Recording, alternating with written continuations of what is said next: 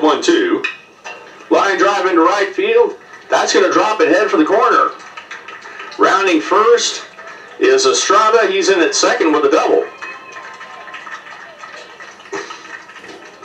That's the first runner in scoring position for the ball game.